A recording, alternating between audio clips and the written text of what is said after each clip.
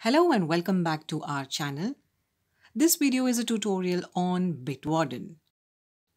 We are going to show you everything about Bitwarden, including how to create an account, how to set up your account, and how to store sensitive information in your Vault.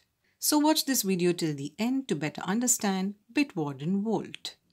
Let's begin with a small introduction. Bitwarden is a free and open source password management service that stores sensitive information such as website credentials, card details, identity card, or even any personal notes in an encrypted vault. Bitwarden Vault has three important features. Number one, it is easy and fast to set up for both individuals and businesses. Number two, it is convenient, which means it can store unlimited passwords across unlimited devices. And lastly, it is secure. You can store what's important to you, whether it is login information, card details, identity details, or any other important information. Now let's get started. To create an account, click on the Get Started button on the top right corner. You will be redirected to the sign up page. Here, enter your email address, enter your name here, create a master password for your Vault. But remember that the master password is the password you use to access your Vault. It is very important that you do not forget your master password because there is no way to recover the password in the event that you forget it. Now retype your master password here and enter a master password hint here. This is optional. If you don't want to add any hint, just leave it blank. Tick the Terms of Service and Privacy Policy box and finally click on the Submit button. After successfully creating your account and email verification, you will be redirected to the dashboard. Here on the top, you will see four buttons, Vaults, Send, Tools, and Reports. In the left sidebar, you can use these filters to find across your stored passwords easily. On the top right corner, click on the icon and you will see your name first, then account settings, get help, get the apps, lock now, and lastly the logout button. Click on account settings to go to the settings page. Under the account settings in the left sidebar, you will see different tabs like My Account, Security, Preferences, Subscription, Domain Rules, and lastly, Emergency Access.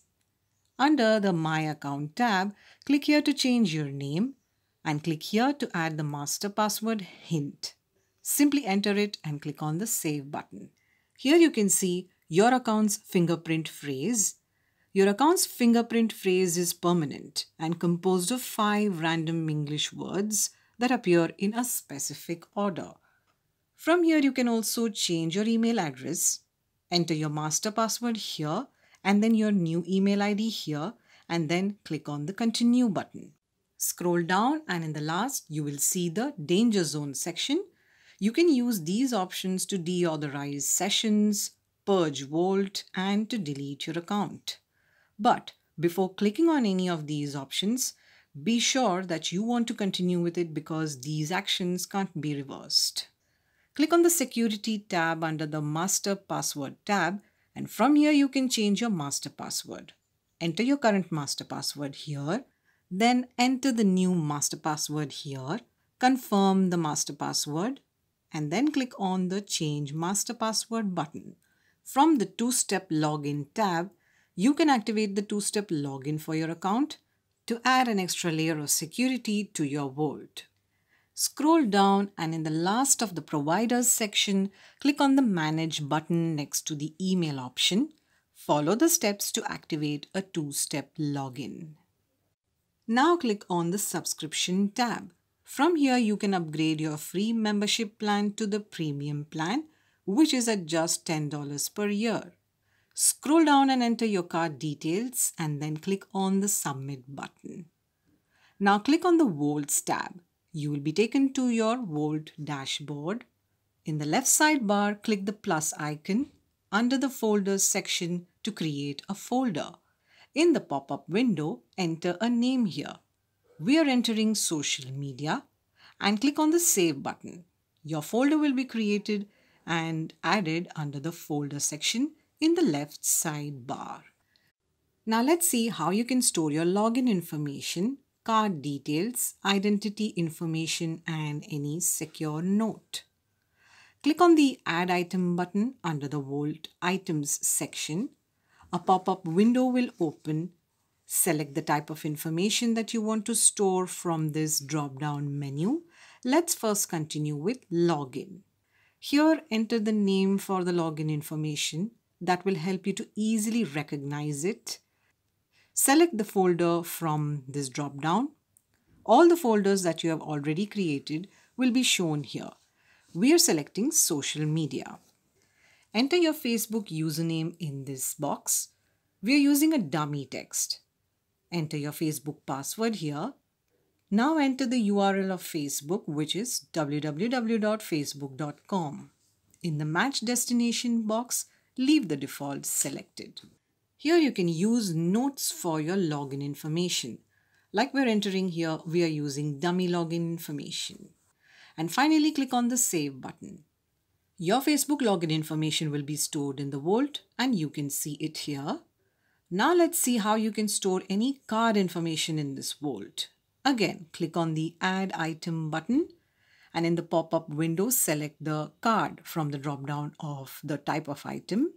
For demonstration purposes, we are using only the dummy information here. Here enter a name for your card like your bank name Select the folder in which you want to store it or leave it unselected. Here enter your name as mentioned on the card. From here select the brand of your card like Visa, MasterCard, American Express or any other. Enter your card number here. Select the expiry month from this drop down menu. Enter the card expiry year in this box. Here enter the security code or CVV enter any notes here or leave it blank and finally click on the save button. Now your card information will be stored in the vault and you can see it here. Now let's try to add the identity information. Again click on the add item button and a pop-up window will appear. Select identity from the type of item drop down. Here enter the name for your identity. Here select the folder or leave it as it is. Then select your title, enter your first name, middle name and last name. Fill in all the required information in the boxes according to your identity type. Scroll down and enter any notes if needed and finally just click on the Save button. Now your identity information will be stored in the Vault and you can see it here. Let's demonstrate the last item here and that is the security note. Again, click on Add Item in the pop-up window, select Security Note from the Type of Item drop-down. Here enter the name for it, select Folder or leave it as it is, and enter your notes here. Finally, click on the Save button, and now you can see that your security note is added in the Vault. Here you can see all the items that we have stored like bank card, Facebook login detail, secure note, and identity card information. And that completes this in-depth tutorial on how to create a Bitwarden account, how to set up your account, and how to add items in your vault. This brings this video to an end. We truly hoped it has increased your understanding about Bitwarden Vault. If you have any suggestions and want us to make a video on a specific topic, feel free to comment them below. And for more such videos, make sure to stay tuned and stay subscribed to our channel.